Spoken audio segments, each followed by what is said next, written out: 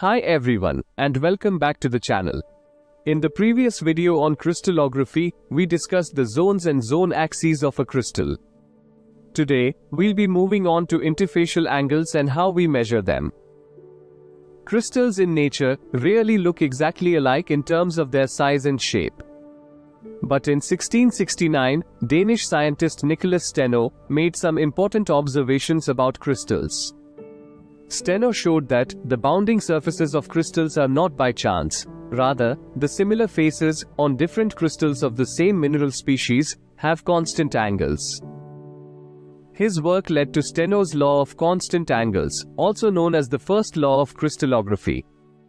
This law states that the angles between corresponding faces on crystals are consistent for all crystals of the same mineral. To illustrate this, Steno examined the interfacial angles in various quartz crystals, including both perfect and distorted crystals. He precisely sliced prismatic quartz crystals at right angles to their length. Then, he measured the angles between adjoining faces and carefully traced their shapes onto paper. Regardless of the crystal's shape, Steno found that the angle between adjoining faces was always 120 degrees. Similar results were obtained for other interfacial angles between corresponding faces on quartz crystals with different habits. So, whether the crystal grew under ideal conditions or not, if you compare the angles between corresponding faces on various crystals of the same mineral, the angles remain the same. Let us now define this interfacial angle of a crystal. In crystallography, the interfacial angle is the angle between the inward-facing normals, that is, the lines perpendicular to two crystal faces. Such lines are called the poles to the crystal face. Keep in mind, this is not the same as the visible angle you see on the outside of a crystal. Instead, it relates to the internal structure. Mathematically, it's calculated as 180 degrees minus the internal angle between the two faces. In this figure, the interfacial angle is labeled as A, and it is complementary to the angle B. Do remember that accurately measuring interfacial angles is vital in crystallographic studies of minerals, as it helps us to identify and classify different minerals. While Nicolaus Steno observed the remarkable constancy of interfacial angles in crystals of a specific mineral, he couldn't explain why this occurred. The key breakthrough came with the discovery of X-rays.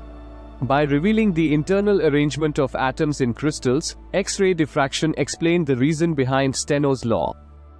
It became clear that the fixed atomic structure of a particular mineral dictates the constant angles between its crystal faces. These interfacial angles are measured using a goniometer. There are two main types of goniometers. The first one is contact goniometer, invented by Carangeot in the 1780s. It has a graduated arc similar to a protractor and one movable arm. The arm and base of the arc are positioned in close contact with the crystal face and the reading is taken directly.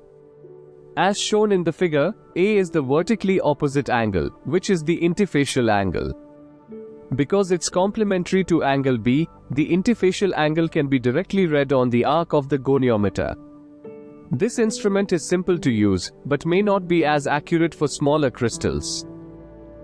Next is the reflecting goniometer, which is also known as an optical goniometer. This instrument is better suited for measuring interfacial angles of smaller crystals. Developed by Wollaston in 1809, it has since been significantly modified and improved. Reflecting goniometers are used for more precise measurements. Here's how a reflecting goniometer works. A crystal mounted on the instrument can be rotated about a zone axis. This allows it to reflect light from its faces into a telescope.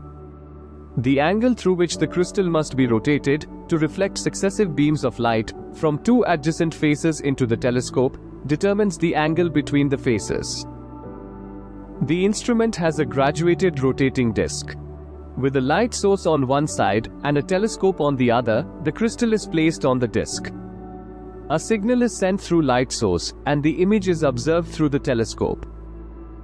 Let's say the light source is M in this diagram. The eye at P, looking at the face of the crystal, BC, observes a reflected image of M in the direction of PN. The crystal may now be so changed in its position that the same image is seen reflected by the next face, and in the same direction, Pn.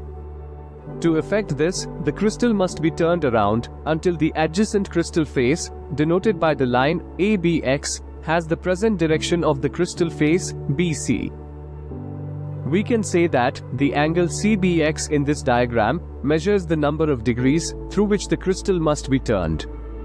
This angle is measured by attaching the crystal to a graduated circle which turns with the crystal. Now, this measured angle CBX is supplement of the internal angle ABC between the two faces. We know that supplementary angles are those angles that sum up to 180 degrees. We have already discussed that, mathematically, the interfacial angle of a crystal is calculated as 180 degrees minus the internal angle between the two faces. Therefore, in this case, the interfacial angle is equal to 180 degrees minus angle ABC. Here we can see that the result we get is equal to the measured angle CBX.